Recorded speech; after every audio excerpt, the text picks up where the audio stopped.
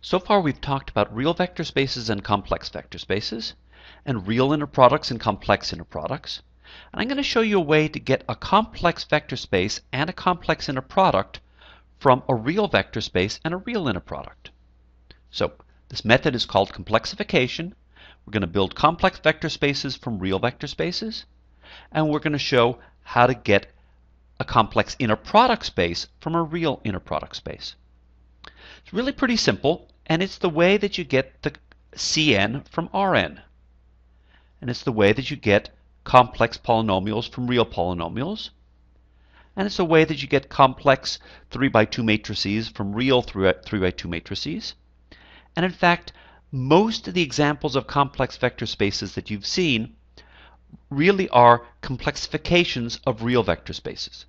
There are some complex vector spaces that really arise on their own and not from complexification, but they're less common. So here's the game. Let's suppose we've got a real vector space. We're going to make the complex vector space by taking two copies of the real vector space. We're going to take ordered pairs of two vectors, each of which lies in the real vector space. And we're going to call the first copy xr and the second copy xi. The way to think of them is this really is a placeholder for the complex combination xr plus ixi. So you should think of xr as being the real part of a vector and xi as being the imaginary part of a vector. The way we made complex numbers is we took two real numbers a and b and we said, oh, a plus bi. Way we get a complex vector is we take a real vector plus i times another real vector. So how do you add two things?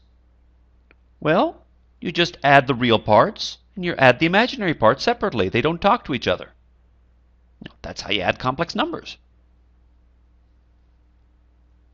And it's easiest if you think of it as xr plus ixi plus yr plus iyy. And you just rearrange the order and it's xr plus yr plus i times xi plus yi. Okay. How do we multiply by scalars? Well, multiplying by real numbers is easy because you just multiply each piece by a real number. They're in a real vector space, so you know how to multiply them by real numbers. But how do you multiply them by complex numbers?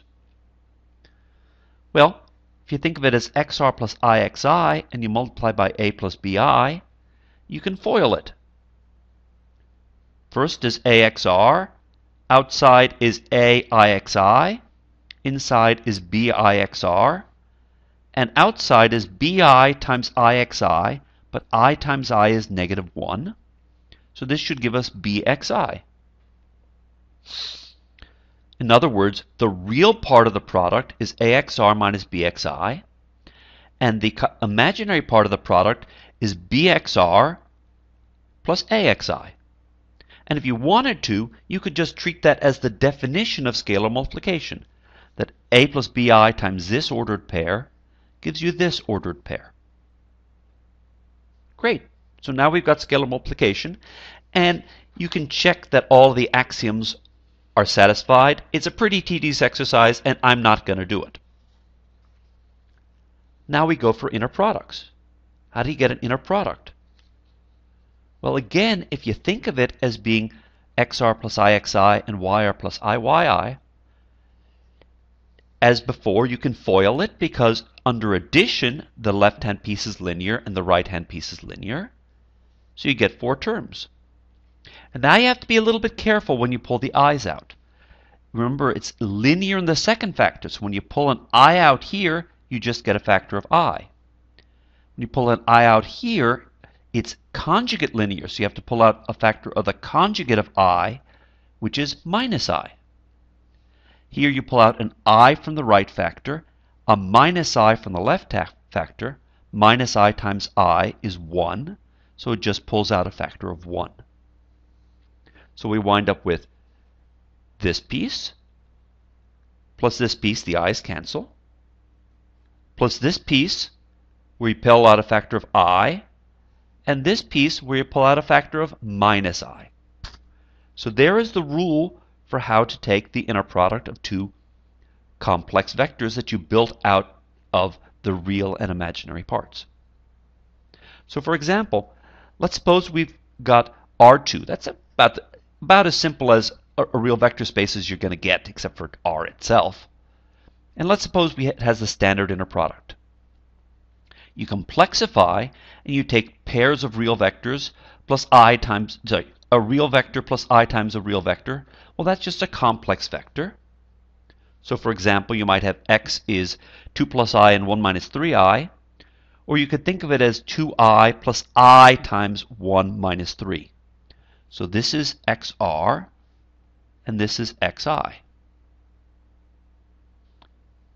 And if I gave you another vector, 1 minus i, 1 plus 2i, you can think of it as being a real part plus i times an imaginary part.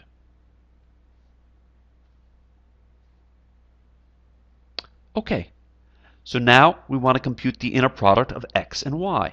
And we're going to do it two ways. The first way is using this formula here. The idea that if you know how to take the inner product of real vectors, you can combine them to take the inner product of a complex vector.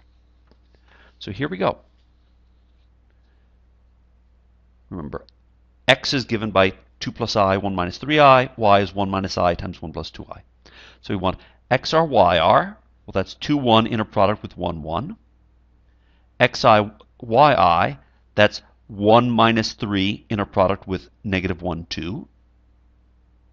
xr, yi, that's 2, 1 inner product with negative 1, 2.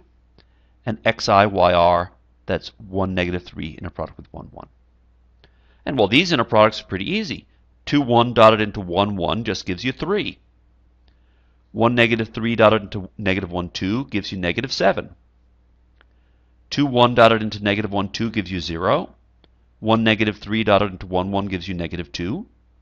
And it all comes out to negative 4 plus 2i.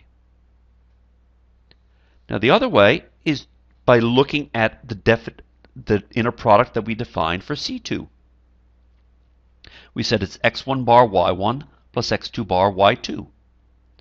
So we take not 2 plus i, x1 is 2 plus i. You take the conjugate of that, which is 2 minus i. So 2 minus i times 1 minus i, plus 1 plus 3i times 1 plus 2i. And you multiply it out, and I've just FOILed it.